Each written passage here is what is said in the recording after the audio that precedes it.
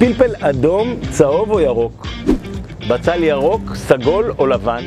שפע הפירות והירקות שבשווקים עלו לבלבל אותנו, ובימינו, גם בשמיטה, המדפים עמוסים בתוצרת. אנחנו כל כך רגילים לזה, עד שנדמה לנו שאי אפשר בכלל לחיות אחרת. אין מצב שנפתח את הבוקר בלי איזה תפוז. מה, ולא נאכל איזה סלט לארוחת הערב? ואם הירקן הביא מעט מדי עגבניות ולא נשאר לכולם איזה לחץ, איזה עצבים. אבל פעם, פעם המצב היה שונה לחלוטין. תבינו, העולם הקדום עבד לפי עונות השנה. רוב הירקות היו בחורף, בעיקר מה שאנחנו מכנים היום ירק, והפירות היו בקיץ, בעיקר אפרסקים, תפוחים וכדומה. אבל בשנת השמיטה אפילו זה לא היה.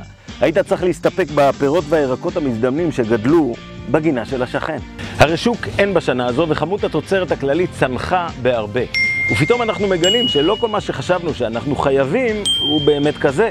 אפשר לקיים חיים מלאים, גם עם משאבים מצומצמים בהרבה.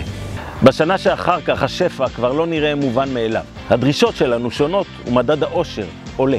הבטחת השם וציוויתי את ברכתי מתקיימת במבט שלנו. לראות את השפע במה שיש, זו הברכה הגדולה ביותר. להצטרף אל העשירים האמיתיים, השמחים בחלקם. לא תאמינו, השמיטה כמעט נגמרת, וגם האתגרים שלנו. לכבוד החופש הגדול אנחנו מזמינים אתכם לבחור בין חדר בריחה לחדר משחק וירטואלי. היכנסו לכישורים המצורפים כאן למטה, בצעו את המטלות, צפו בסרטונים ושילחו לנו צילום של מסך הסיום. השולחים יקבלו כרטיס להגרלה הגדולה.